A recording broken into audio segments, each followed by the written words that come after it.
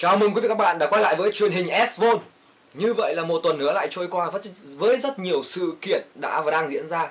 Như thường lệ đồng hành cùng quý vị các bạn, đó là tôi Đỗ Quốc Việt và biên tập viên Trần Long Vân. Chương trình của chúng ta xin phép đã bắt đầu.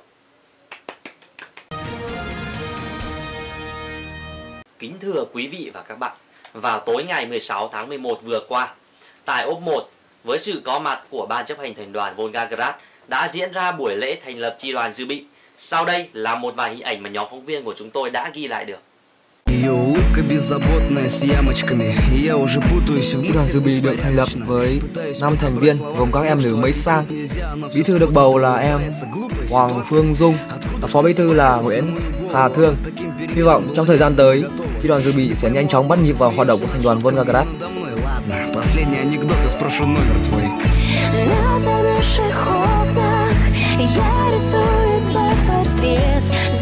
засыпая без тебя, я на ночь оставляю свет.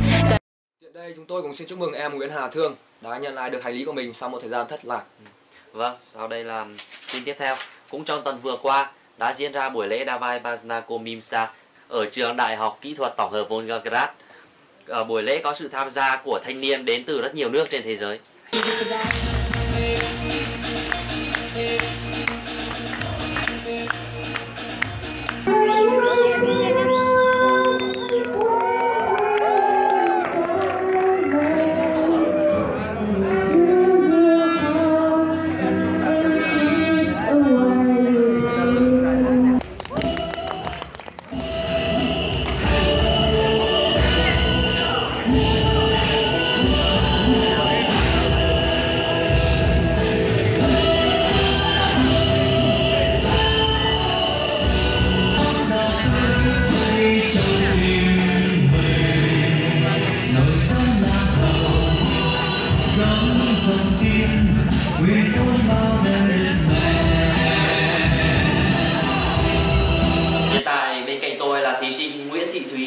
Một người đã trình diễn một màn karate cực kỳ ấn tượng trong buổi lễ Davai Vansnan Kominsa thì em có phát biểu suy nghĩ gì khi mà em biểu diễn những cái tiết mục đấy trước mặt đông đảo các sinh viên nước ngoài như vậy? Kèo thì cũng rất run và nhưng mà cũng vui khi được tham gia hoạt động của trường. Có có có nhiều fan hâm mộ em kiểu vây kính lấy em sau khi em biểu diễn cái tiết mục đấy có ạ. Toàn da đen ạ. Em còn luyện tập môn võ nào à, em thời năm 11 có học taekwondo và lên đại học thì vừa học karate vừa học cổ truyền ạ như vậy là em học ở những ba ba thế cái cái nào là cái chính của em? Chính thì chắc là karate ạ. À, em luyện karate bao lâu rồi? Em luyện từ năm uh, lên đại học đến lúc chuẩn bị sang đây. Thân là một người con gái. Mà em mà em lại luyện võ như thế thì bên gia đình người ta có cản trở hay là có ủng hộ gì không? À, gia đình thì ủng hộ nhiệt tình luôn ạ. Thế còn thì bạn bè xung quanh có bảo là kiểu con gái chắc là đi tập võ làm gì không làm cái gì đấy thú vị hơn. À, riêng em thì kiểu tính giống con trai là có thể học được nên các bạn ấy cũng không Tức là mọi người ủng hộ hết. Tuần vừa qua đã xảy ra sự kiện đánh dấu mốc lịch sử quan trọng trong sự phát triển thể dục thể thao của toàn bộ sinh viên tại thành phố Volgograd. Đấy là sự thành lập câu lạc bộ thể hình Tiên Y và những người bạn. Xin chào quý vị và các bạn. Hiện tại nhóm phóng viên của chúng tôi đang có mặt tại phòng tập của câu lạc bộ Dream Body Challenge Volga và sau đây chúng tôi xin giới thiệu tới các bạn ông Trần Văn Tuấn, nguyên chủ tịch câu lạc bộ. Từ ờ, động cơ mục đích nào bọn anh ở sinh có câu à, à, tôi thì muốn là lập ra câu lạc bộ này. Tạo cho các anh em ở bên 2 có một môi trường luyện tập thể dục thể thao. Và sau những giờ học tập mệt mỏi thì có thời gian giải trí. Thêm một nữa là rèn luyện sức khỏe để phục vụ các công tác khác song song với việc thành lập câu lạc bộ thì thời gian gần đây có một vài ý kiến cho rằng câu lạc bộ là một tù điểm ăn chơi trá hình của dân gai. Anh có phân biện gì về vấn đề này không câu lạc bộ thì gồm là toàn các nam thanh niên. Lên tin đồn thì cũng không thể tránh khỏi. Nhưng mà thực tế thì câu lạc bộ chúng tôi là, là nói chung là rất là lành mạnh chỉ luyện tập thể dục thể thao tăng cường sức khỏe. Trong thời gian tới đây thì anh dự định hướng phát triển của câu lạc bộ như nào? À, theo tôi thì lúc đầu thì câu lạc bộ vẫn còn rất là ít thành viên. Đơn sơ và sơ sài các dụng cụ tập thì cũng chưa có nhiều. Theo thời gian thì tôi sẽ hy vọng là câu lạc bộ sẽ được mở rộng uh, thêm nhiều thành viên. Lúc đó thì uh, câu lạc bộ với cả các thành viên sẽ có họp bàn và đầu tư thêm các trang thiết bị uh, phục vụ cho công việc. luyện tập của các anh em hơn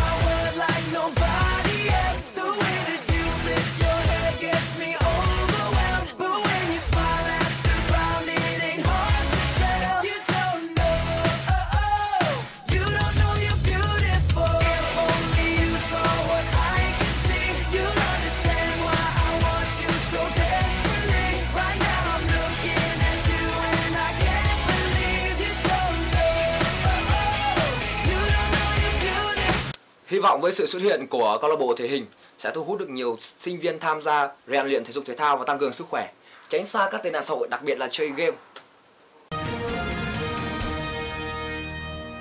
Thưa quý vị và các bạn, như vậy là cơm có thịt đã trở lại với chúng ta với sự xuất hiện của ngũ đại mỹ nhân đến từ ốp 1.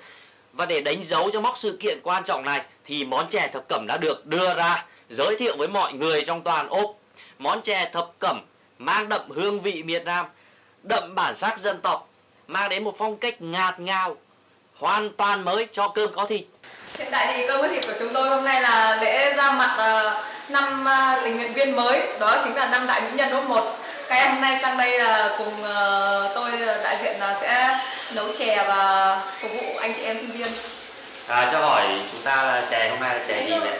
Hôm nay là chè thập cẩm mang hương vị mới mẻ của các đại mỹ nhân uh, ốp 1 và kết hợp một sự già cũ của tất cả nguyên liệu là được các năm nữ sinh của chúng ta mang từ Việt Nam sang hay là do cơm có thịt cung cấp?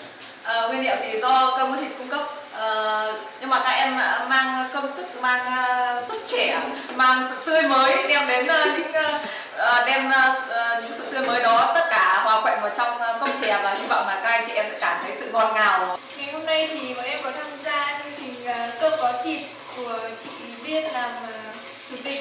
Uh, bọn em hôm nay là nấu món chè và khi tham gia thì bọn em thấy là giúp được rất nhiều em nhỏ. Và hơn nữa thì cũng học được cách nấu chè. Còn khi mà mình nấu chè sang lớp hai chơi là nó quen hơn nhiều với các chị với lớp hai năng động hơn ạ. Sau đây nấu hai được tham gia nhiều hoạt động và được nấu ăn nhiều hơn và sẽ học hỏi được kinh nghiệm của các anh chị về nấu ăn ạ về ô một thực hiện ạ. Sang bên này thì em có thể biết nấu nhiều món hơn? Em rất vui khi được sang bên ô hai vì có rất nhiều anh chị quan tâm giúp đỡ đặc biệt là nấu được chè vâng, em sẽ cố gắng trong lần tới. Mọi người hãy ủng hộ. Sau một thời gian dài chờ đợi và mong ngóng, cuối cùng anh Cao Xuân Trường đã quay trở lại với chúng ta để tiếp tục chương trình học nghiên cứu sinh của mình. Chúng tôi đã có mặt tại phòng 327. Ờ, tuần vừa rồi ở Volgograd có một sự kiện uh, quan trọng xảy ra đó là sự trở lại của anh Cao Xuân Trường. Anh là một tương lai sống của sinh viên ở Volgograd. Anh quay lại trở lại cho chúng ta sau Chỉ cam đoan đó là gia đình. Vâng, xin chào anh Trường, anh uh, khỏe không ạ? À, cảm ơn uh, các phóng viên tôi cũng khỏe. Ờ, anh có thể tiết lộ cho khán giả biết chuyện diễn ra với anh trong quá khứ không ạ? À, mình cũng bật mí với các bạn là do dạo này ở Việt Nam tình trạng làm đường nó diễn ra nhanh quá nên tru bò ở nhà nó, đường nó bị lấn mất rồi nên là tru bò nó được cái nó đi thôi mình nhìn với con tru mình tội nó quá nên là mình quyết định là xuống rãnh đi cho nó nhường đường cho các động vật nó đi Tình sức khỏe hiện tại của anh đã khá lên chưa ạ? À, anh có thể đi học ngay lập tức được không ạ? ở tình hình là mình sang những tư tưởng bây giờ vẫn là tư tưởng đang còn ham chơi mà chứ mình có dự định là trong vòng tháng tới mình sẽ ở nhà. Chưa có hứng thú học tập lắm. À, vậy thì với cái tình trạng sức khỏe như vậy thì vấn đề ăn uống đi lại thì uh, của anh như thế nào? Thì mình về Việt Nam dạo này ở nhà nó dùng rượu bia cũng nhiều nên là sức khỏe nó giảm sút. Để ăn là mình thích ăn những cái thứ nó mềm thôi ăn đỡ tốn sức chứ nhai vào mệt lắm. Vậy thì bây giờ anh đang ăn chung với ai? Thì uh, mình bạn đầu ăn đấy thôi chỗ nào có lòng thương chỗ nào có sữa có cháo thì mình, mình mò đến thôi. Anh có gửi muốn gửi lời nhắn nhủ gì đến những người uh, bản dân thiên hạ những người ngày đêm mong ngóng mong chờ tin tức của anh không À, xong thời gian ở Việt Nam với lại sau uh, 3 tuần vừa rồi ở nhà suy ngẫm thì tôi rút ra một kết luận đó là rượu bia rất có hại cho sức khỏe và chúng ta không nên uh, uống rượu bia nhiều. Vâng xin cảm ơn anh. Thay mặt những người làm công tác truyền thông nói riêng và toàn bộ sinh viên nói chung, chúng em xin chúc anh Trường nhanh chóng khỏe lại và tràn đầy sức sống như ngày xưa vậy. Như ngày xưa vậy. Thưa quý vị và các bạn, như vậy sau một thời gian tăng ầm ầm như phi mã thì bây giờ giá đô đã có những dấu hiệu chứng lại, thậm chí là đi xuống. Xuất phát từ những cái dấu hiệu đấy thì có lẽ bây giờ chúng ta nên nghĩ về việc là đem đô đi đổi hay chưa hay là giữ lại. Thưa quý vị và các bạn, có lẽ đã từ rất lâu rồi, Volga của chúng ta chưa có một đài truyền hình chính thống để đưa tin về những hoạt động của sinh viên. Vâng, với mong muốn phổ cập thông tin đến tất cả các sinh viên, tôi và anh Trần Long Vân đã xây dựng một kênh thông tin trên YouTube. Hy vọng sẽ nhận được nhiều sự hợp tác và giúp đỡ từ phía mọi người. Và sau này các thế hệ sinh viên tiếp theo sẽ tiếp tục duy trì và phát triển truyền hình S-Vol. Tạm thời truyền hình S-Vol vẫn là một kênh mang tính chất cá nhân, hoạt động dựa trên lòng đam mê, nhiệt huyết và tinh thần trách nhiệm của tôi và anh Trần Long Vân. Chi phí hoạt động của truyền hình S-Vol đều do hai chúng tôi chi trả. Mọi sự đóng góp hỗ trợ của quý vị khán giả xin gửi về phòng 439 ốp 2, đại lộ Lenin, Volgograd. Vì chúng tôi không có nhiều thời gian để tham gia tất cả các sự kiện, thế nên rất mong mọi người khi tham gia các hoạt động do thành đoàn, trường, cộng đồng hoặc là thành phố tổ chức có thể quay phim, chụp hình và sau đó gửi về cho chúng tôi để làm tư liệu. Bản tin truyền hình Esvo số thứ hai đến đây là kết thúc. Cảm ơn sự quan tâm và theo dõi của quý vị khán giả. Để kết thúc chương trình sẽ một ca khúc với phần trình bày của anh Trần Hải Cát trong buổi sinh hoạt vừa qua của hội sách. Chúc mọi người có một tuần làm việc mới vui vẻ và hiệu quả. Chào tạm biệt. Dàng hạt nắng đùa nhẹ trên áo đôi môi em gọi bao khát khao. Mắt em vời vời đắm đắm trời cao. Em mong manh từ rừng cây trút rơi lá. Gió chiều bóng trời sao xuyên mãi không thôi. Người yêu ơi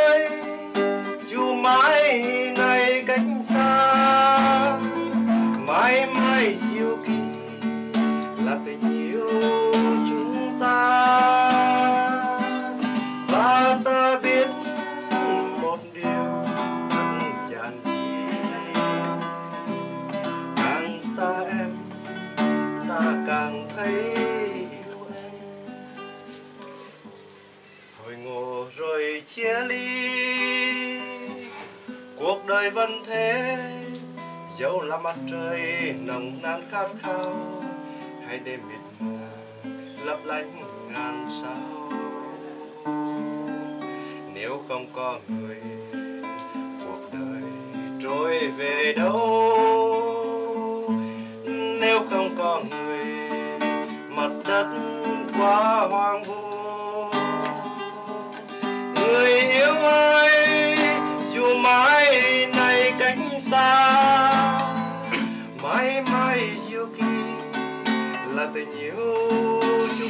Chúng